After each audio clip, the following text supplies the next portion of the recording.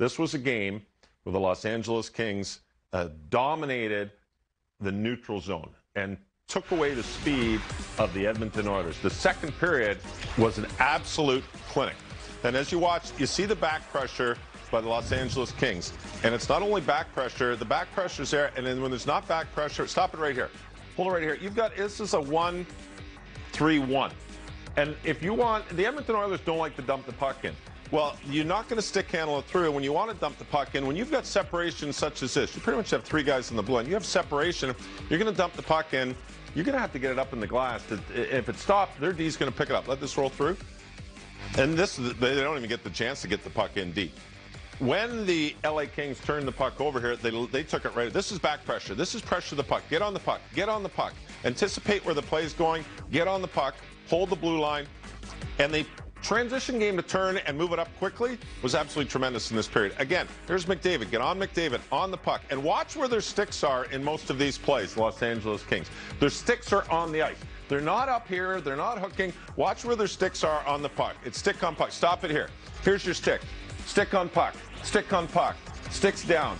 You get a stick on a puck, a player's not going to be able to stick handle through that because they're going to they're going to lose possession. Let this go through. Roll this through. Stick on puck. There's your turnover. Sticks are on the ice. Sticks are in the passing lanes. Again, excellent stick. Come in with the stick. There's another stick. Another stick on puck. There's your turnover at the blue line, and you're turning it the other way. We're going to see it one more time. Great back pressure. Let's stop it here. This is this is anticipation. You're cutting you're cutting your ice pretty much in half. You're having your defensemen stand up, and this is where the Edmonton or, the uh, Los Angeles Kings, I thought in this game, were tremendous. I think we're going to see it again against Edmonton in tonight's game. You cut your ice in half, and you flush a team to a position where you want them to run into your defensemen.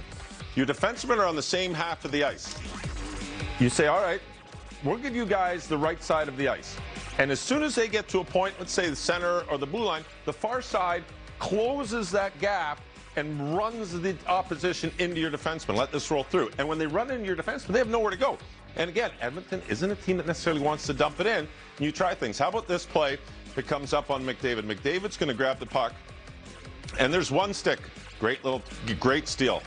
I'm sorry, that wasn't the McDavid one, but there's there's uh, the stick, and this is just continue. Stick on puck. This is one of McDavid. McDavid gets it. There's three sticks on him. How about this, Arvidsson? A little force to the play again because the stick's on the ice. The mm-hmm. puck, it's you can't make a, yeah. a straight pass, and it bounces out of the zone.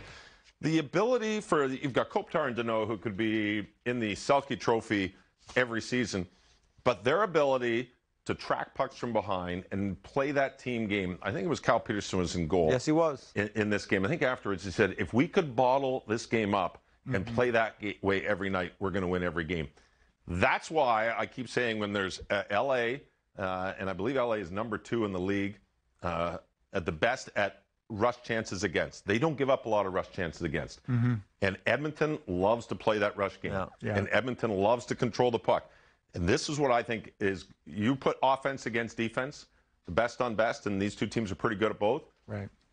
I always go with the defense. And that's why I think the Los Angeles Kings are going to be a real thorn in the side. Yeah, right. And, the and, they're, and, they're, dangerous enough themselves. Oh, they generate hey. a good bit on the other side of the yeah. puck. I really like score. your point, Reader. Uh, the stick on the ice. It's a great discipline, and it's twofold, really, right? One, of course, you may be able to strip a puck with the physical stick, but just having it on the ice in and around another player, you're influencing. You're kind of taking a lane away. You don't want to gamble if you're the puck carrier that stick is there. There's a good chance I can't make that pass. So you're influencing, if not turning the puck over with the yeah. stick. It's twofold.